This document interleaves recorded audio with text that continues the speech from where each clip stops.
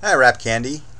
It's Ryan, and this is part of my hosting series and getting your Zen Cart set up.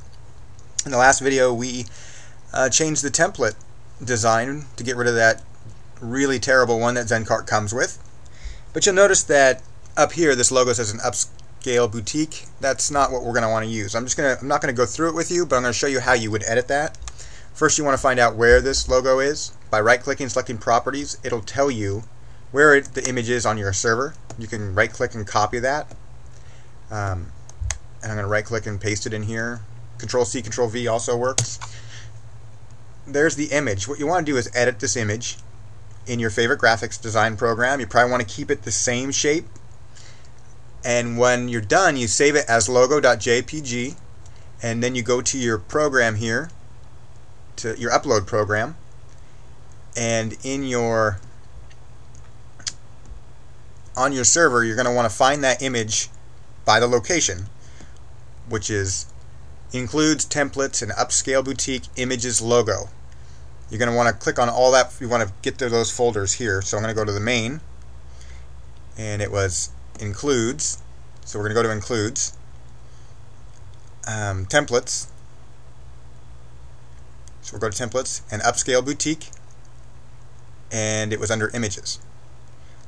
That's where that logo is on your server. So when you edit that logo, that's where you want to upload it, and it will change immediately if you do it correctly.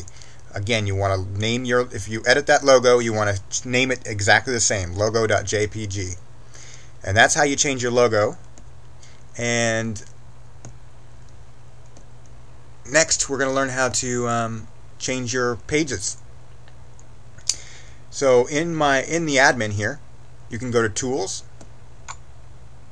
and you can go to, uh, well, just highlight over Tools. We're going to go to uh, Define Page Editor. And here's all the pages you can edit. Your checkout success message, conditions, you're going to want to go through every one of these and change it. Uh, what we're going to do now is define main page. This is your home page. This is what everybody sees.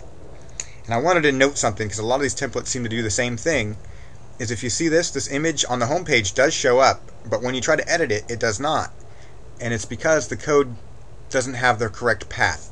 And to change the path, you need to use these little brackets here. It says toggle to HTML. Now you're going to be looking at a little bit of code here. It's not that difficult. Just take out the admin section of it, right like that.